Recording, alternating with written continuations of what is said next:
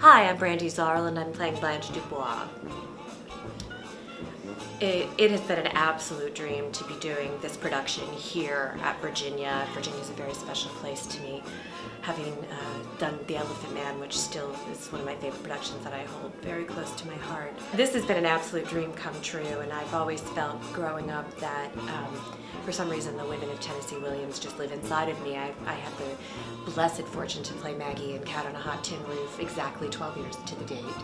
And um, and have been reading and waiting and hoping to tackle Blanche uh, for so long.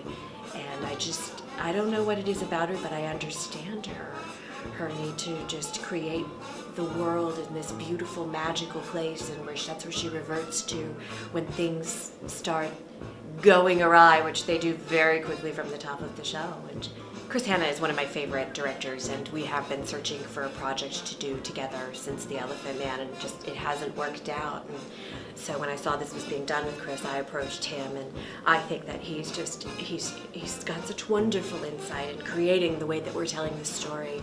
Um, he does know how to talk to each actor in the room uh, in the way that they need, and he's with such a big heart and so much experience and so much trust that he puts in each of us um, and the collaborative spirit that uh, that we have together.